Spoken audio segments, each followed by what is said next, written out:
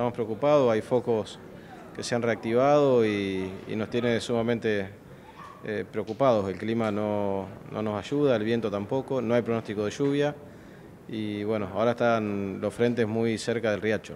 Ahora eh, tenemos mucha colaboración del sector privado, está Defensa Civil, están los bomberos de Puerto Madryn, están los empleados de Servicop, los empleados de obras y servicios públicos de la provincia, de la cooperativa de Pirámide, eh, bomberos de Trelew, de Rawson que, eh, que han llegado, la Agencia de Seguridad Vial.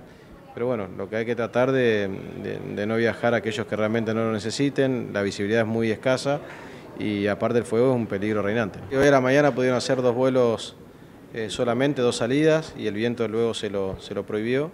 Pero bueno, esperemos que nos ayude un poco el clima y que los contrafuegos también puedan accionar. Tenemos reuniones y estamos en contacto permanente con la gente que está trabajando.